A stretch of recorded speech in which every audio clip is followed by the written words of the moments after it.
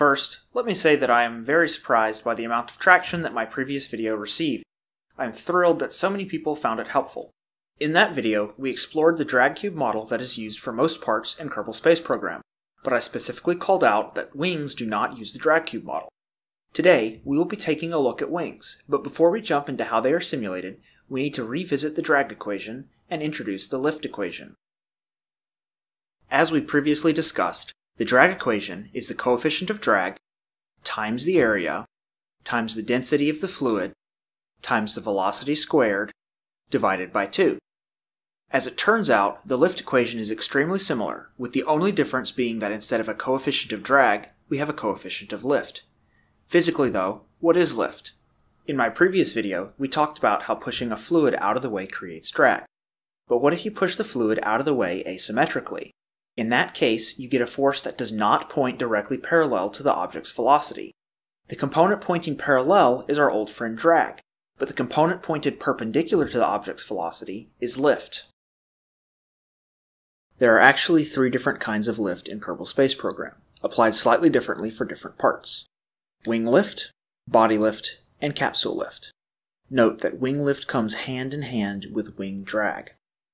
Body lift is used by any part with a drag cube unless explicitly turned off in the part config file.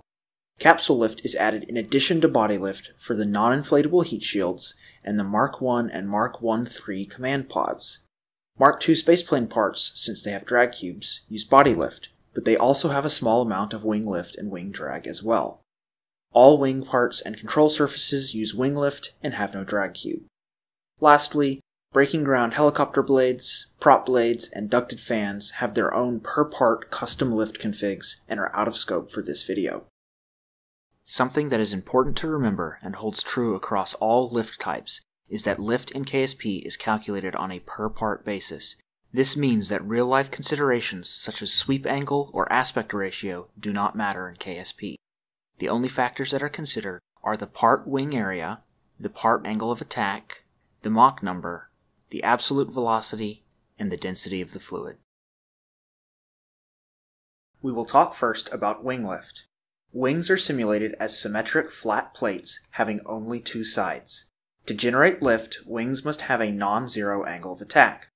A unique quirk of wing lift is that it is perpendicular to the surface of the wing and not to the airflow. This means some portion of the lift force is always directed backwards. We can separate out this portion and call it lift-induced drag. The remaining portion perpendicular to the airflow we will call true lift. Lastly, we will call the regular drag on the wing parasitic drag to distinguish it from lift-induced drag. The lift coefficient and drag coefficient of wing parts are simulated via two curves each, an angle of attack curve and a Mach multiplier. These two values get multiplied together to get the final coefficient of lift and coefficient of drag. Let's take a look first at the angle of attack curves. Up to about 20 degrees, lift increases linearly, meaning that doubling the angle of attack doubles the amount of lift. This quickly tapers off at angles of attack beyond 20 degrees, and by 30 degrees we have reached the point of maximum lift. Any increase in angle of attack beyond 30 degrees causes a decrease in lift. This is known as aerodynamic stall. We find that doubling the angle of attack from 45 degrees to 90 degrees only increases drag by about 25% while maintaining about 50% of the lift of the maximum at 30 degrees angle of attack. Therefore, for situations where very high drag is desired, but some amount of lift does need to be maintained, 45 degrees works very well. Now let's take a look at the lift and drag Mach multiplier curves, starting with the lift curve. From Mach 0 to Mach 1, the lift multiplier decays by a factor of about 8, then drops again by another factor of 2 from Mach 1 to Mach 5, after which point it's pretty much static. The drag curve is a little more complicated.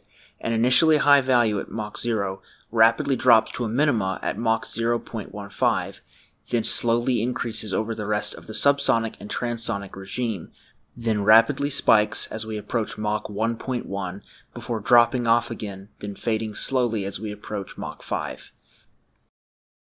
Taking a look at lift and drag individually is all well and good, but really what we're interested in is producing the most lift for the least drag. This is called the lift to drag ratio. Let's take a look at a chart of the lift to drag ratio across various Mach numbers. At Mach 0, a peak lift to drag ratio of 18 is reached at an angle of attack of 1.5 degrees. This begins rising, and by Mach 0.14, the peak lift to drag ratio is 27 at an angle of attack of 1 degree. This is the maximum possible lift to drag ratio with standard wings. At Mach 0.43, lift to drag ratio and angle of attack match Mach 0. Mach 1.11 is the toughest part of the sound barrier and gives the absolute minimum possible peak lift to drag ratio of 3.2 at 4.9 degrees angle of attack. At Mach 2.54, we have reached the peak possible supersonic lift to drag ratio of 5.3 at 3.8 degrees angle of attack. As velocity increases, lift to drag ratio will slowly decay, but a lift to drag ratio of at least 4.9 is possible up to Mach 8. Boiling this all down, an angle of attack of 2 degrees provides good performance when subsonic, an angle of attack of 4 degrees provides good performance when supersonic and hypersonic.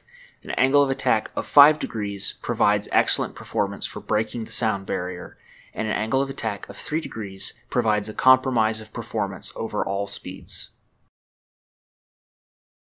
You may have noticed that we're dealing with a bit of a contradiction here. We want to have some angle of attack on the wings so that we can produce a good lift to drag ratio, but we want the body of our craft to point perfectly prograde to minimize body drag. The solution is surprisingly simple. We simply rotate the wings. This is called angle of incidence and is defined as the angle between the longitudinal axis of the fuselage and the chord line of the wing. This allows the fuselage to point prograde for low body drag, while allowing the wing to have an angle of attack for plenty of lift. Let's run a head-to-head comparison between a craft with wing incidence and one without. This craft has a carefully balanced center of mass and center of lift, with or without cargo.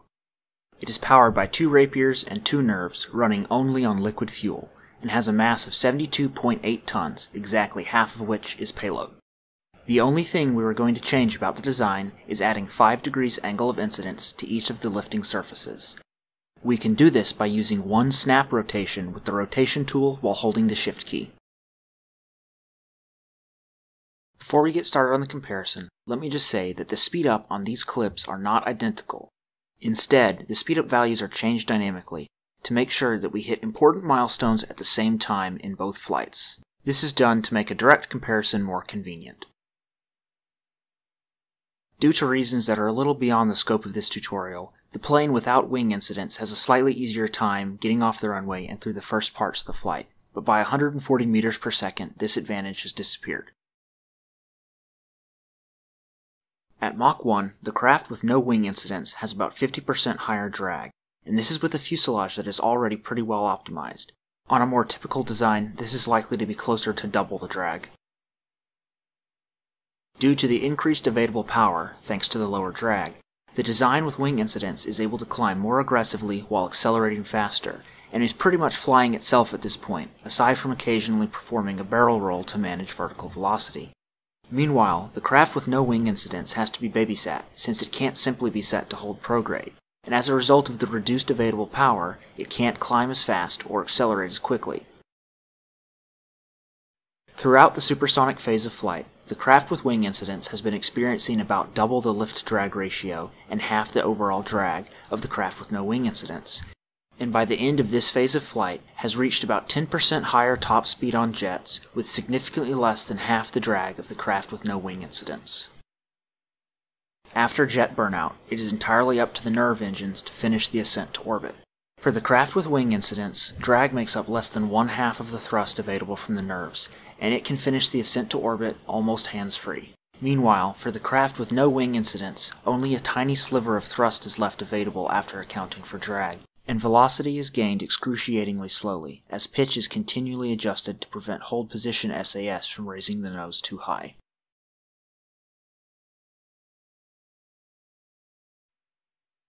In the end, the design with no wing incidence reaches orbit with 310 meters per second of delta V left over, while the design with wing incidence reaches orbit 4.5 minutes faster and with slightly over 1000 meters per second of delta V. This is the difference between being able to do a few maneuvers in LKO and visit a station, or throwing the payload onto a Munar transfer and still safely returning to Kerbin. Now let's take a look at capsule lift and body lift. We're going to look at these together because they have a lot of similarities. First, They both have no drag components, since they're intended to be used with parts that already have drag cubes. Second, the lift vector is perpendicular to velocity and not perpendicular to the surface, like with wing lift. This means they don't have any lift-induced drag either. They also share an angle of attack curve, which is pretty straightforward. Up to about 25 degrees it's roughly linear, at 45 degrees it reaches its peak value, and is roughly symmetrical about 45 degrees. Their Mach curves do, however, differ markedly. For body lift, the value is pretty constant up to about Mach 1, then dives off a cliff, before stabilizing out at about Mach 5. Capsule lift, on the other hand, doesn't even have a curve for its Mach multiplier. It simply maintains one static value through all speed ranges. The next area in which they differ markedly is how their area is computed and what their theoretical maximum lift to drag ratios are. For body lift, wing area is computed directly from a part's exposed drag cube area. This makes it virtually impossible to come up with a generalized solution for the lift to drag ratio of body lift, since drag cube drag has so many more factors at play. For capsule lift, wing area is computed directly off of the wing area in the part action window. Since capsule lift has no drag value intrinsically associated with it, this means that the associated lift to drag ratio is theoretically infinite, which plays into the next topic we'll be discussing. If you enjoy watching advanced KSP content, it's likely that you may have heard one of these two terms before heat shield wings or magic wings. What these both refer to is a specific technique of using heat shields that have been carefully occluded to have very low drag and very high lift to create planes that have extremely high lift to drag ratios. In this short segment of the tutorial, I'm going to be showing you how to create and use magic wings. So how do you make a magic wing? First, let's confirm that heat shields do indeed have some wing area. Next, we're going to grab a heat shield and rotate it so that we can place it onto this nose cone via the rear node. As we zoom in, you can see that there are actually two frontal nodes on the heat shield, one a little ways forwards and one hidden almost right inside the heat shield. The important thing here is that the wing area is actually tied to the front of the two nodes, if you attach a part to this node, the wing area of the heat shield will be deleted. What we can do is attach a nose cone to the rear of these two frontal nodes on the heat shield. This will not remove the wing area, but it will occlude the frontal drag cube area of the heat shield, thereby making the heat shield extremely low drag. Then we rotate the heat shield to 45 degrees, since this is the peak of lift for capsule lift, which is what the wing area on the heat shield uses. As we can see here, Thanks to the front and back attached nose cones, the YP and YN faces of the heat shield, corresponding to the front and the back respectively, are set to zero, meaning that only the low area, and surprisingly streamlined, side faces of the drag cube are left exposed. I've gone ahead and whipped up this simple little plane here. Rather than having a nose cone directly attached to the frontal node on the heat shield, I've added an additional two heat shields and then put a nose cone on the frontmost of those. Then I've offset both the nose cones inside the body of the craft where there's a hidden fairing. I've carefully balanced the lift from the heat shields right on top of the center of mass, which means I don't need any control surfaces, which is good because control surfaces use regular lift and so they have a much lower lift-drag ratio than heat shield wings. Let's go ahead and take this thing out for a spin and see what it can do. Once we're up to altitude and stabilized out at our top speed, we can see that each heat shield is producing about 12 kilonewtons of lift, but only 0.01 kilonewtons of drag, which means that they have a lift to drag ratio of about 300. You'll notice that the plane overall has a lift to drag ratio of about 140, which is far, far better than conventional wings can do. What this means is that even though this plane is about 8 tons, it only needs one quarter of a single ion engine to be able to maintain speed. Now you may be wondering, if heat shield wings are so amazing, how come everybody doesn't use them? Well, they do have a couple of drawbacks, the chief of which is that they have very, very poor low speed lift, meaning that takeoff speeds are extremely high. For this reason, most missions that I've seen that utilize heat shield wings take off vertically like a helicopter using regular old props, and then drop into a dive so they can gain enough velocity to fly on heat shield wings. Well, I think that about wraps up this tutorial. I sincerely hope that this information proves useful to you, but if I missed anything, or if you just have some comments and questions, please leave them down below. And as always, stay tuned for the next video.